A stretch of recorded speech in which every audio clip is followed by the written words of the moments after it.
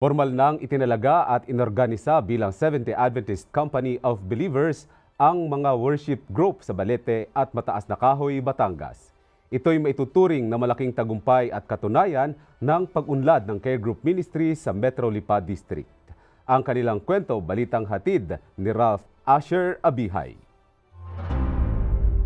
Sa matagal ng panahon na pagsusumikap ng mga kapatiran sa distrito, ang care groups ng Balete at Mataas na Kahoy, Batangas ay sabay na nagarnisa bilang company. Ang Balete at Mataas na Kahoy ay kabila sa nasasakupan ng Metro Lipa District na pinungunahan ng District Pastor na si Pastor Ramil Pernia. Isa pong kagalakan na ang ah, lugar na ito ng ah, Balete ay ma- magkaroon ng ah, pananampalataya sa mahabang panahon ng mga paghahanda ng kasiglahan ng mga kapatid. Ilang taon na rin nakalipas na ang Balete ay pinungunahan na mag-asawa ni Pastor Erickson Rigor at sa tulong ng Panginoon ay nagkaroon ng 44 na kaanib na sa kasalukuyan ay pinangalagaan na mag-asawa ni Pastor Gerald Lesiones.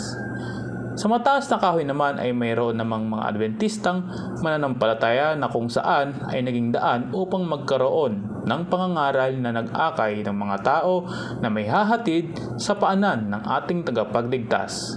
Sa kasalukuyan ay meron silang 55 miyembro Ang akin pong mensahe sa ating pong mga kapatid dito sa Balete, lalo tigit sa mga bagong binyagan, kayo po mga kapatid ay magtapat sa inyo pong pananampalatayang tinanggap. magpakatatag po kayo sa pananampalataya sapagkat ang Diyos na tumawag sa inyo.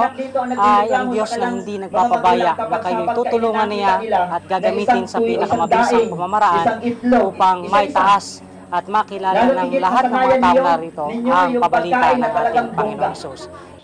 Ating pong pinupuri at pinasasalamatan ang ating dakilang Diyos sapagkat ah, sa umagang ito ang ating pong dalawang worshiping congregation, ang Balete at ang Mataas sa Kahoy ay isasagawa ang pag-organisa Tunay na napakabuti ng Panginoon sa kanyang pagtugaygay upang magkaroon ng bantayog sa dalawang lugar na ito na kung saan may ipapahayag ang dakilang pag-ibig ni Kristo sa lahat ng mga tao.